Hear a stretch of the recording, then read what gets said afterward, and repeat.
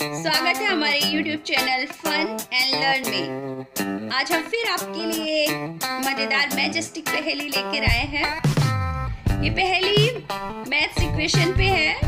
जैसा कि आप देख रहे हैं इक्वेशन लिखा हुआ है nine minus three is equal to six आपको इस इक्वेशन में से कोई भी एक मैजेस्टिक उठाकर कहीं पे पुट करना है और आपको उससे एक अनदर इक्वेशन बनाना है। तो चलिए जल्दी कीजिए।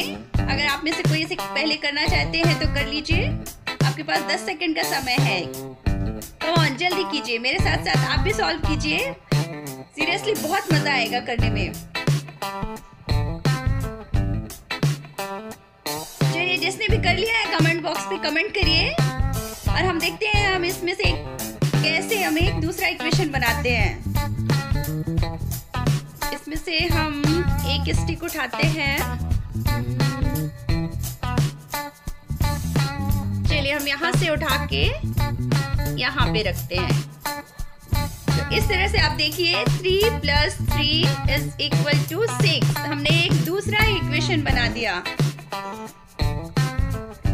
चलिए हम इसमें से एक और इक्वेशन बनाने का ट्राई करते हैं। हम फिर से एक पुराने फॉर्म में ही लेके आते हैं इस इक्वेशन को। हो गया nine minus three is equal to six अब इसमें से आप एक और इक्वेशन बना सकते हैं। सोचिए, जल्दी सोचिए। आप और क्या बना सकते हैं?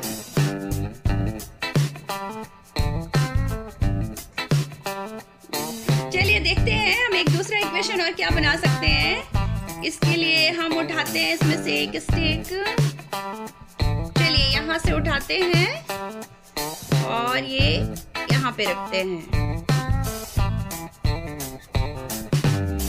देखिए, जैसे कि एक और इक्वेशन बन गया eight minus three is equal to five तो आप देख सकते हैं, हमने एक इक्वेशन में से सिर्फ़ एक मैजेस्टिक मूव करके कोई दो और करेक्ट इक्वेशन बना दिया है। तो दोस्तों, अगर आपको हमारे ये मैजेस्टिक पहेलियाँ पसंद आ रही हो तो प्लीज़ हमारे चैनल को अभी तक जिसने भी सब्सक्राइब नहीं किया है सब्सक्राइब कीजिए।